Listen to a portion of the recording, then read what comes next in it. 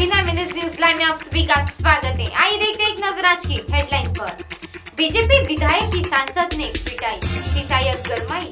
Handwara encounter एक आतंकी ढे search operation जारी। बिना मान्यता की संस्था को ढाई करोड़ रुपए बांट दिए, अब खबरें विस्तार से।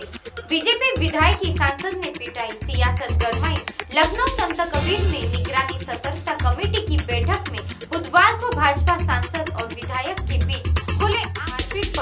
सियासत गरमाई हुई विपक्ष ने भाजपा के जनप्रतिनिधियों द्वारा इस तरह के व्यवहार पर जमकर हमला बोला है बसपा ने जहाँ इसे इंटरनल सर्जिकल स्ट्राइक का करार दिया है वहीं समाजवादी पार्टी ने इसे हताशा का नतीजा बताया है हार से आशंकित होने का नतीजा अखिलेश यादव ने इस घटना का करार किया है उन्होंने अपने ट्विटर हैंडल पर पोस्ट किया है कि आज उत्तर प्रदेश में विश्व की सबसे अनुशासित राजनीतिक पार्टी मध्य जूते का सादर आदान प्रदान हुआ है।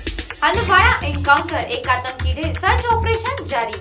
जम्मू कश्मीर के कुपवाड़ा ज़िले के हंदवाड़ा में आतंकवादी, आतंकियों और सुरक्षा बलों के बीच एनकाउंटर चल रहा है, जिसमें एक आतंकी मारा गया है। सर्च ऑपरेशन अभी भी जारी है।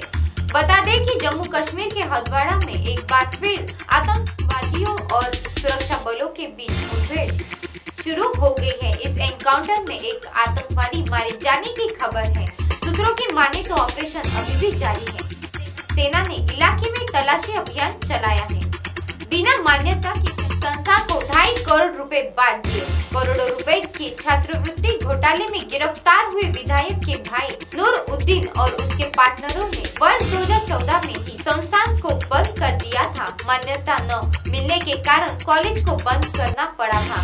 संस्था के वेबसाइट को भी 2015 में बंद कर दिया था। कॉलेज तो बंद हो गया, लेकिन वर्ष 2015 तक संस्था के पास छात्रवृत्ति आती रही। इस बात का खुलासा होने के बाद तत्कालीन जिला समाज कल्याण अधिकारी और सहायक समाज कल्याण अधिकारी की भूमिका भी सवाल के घेरों में आ गई है। एसआईटी ने दोनों को नोटिस जारी कर दिया है।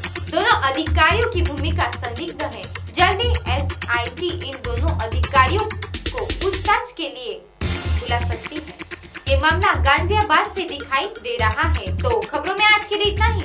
एम एन न्यूज़ लाइव की खबर देखने के लिए एम हिंदी ऐप आज ही प्ले स्टोर से डाउनलोड करें और हमारे चैनल को लाइक सब्सक्राइब शेयर करना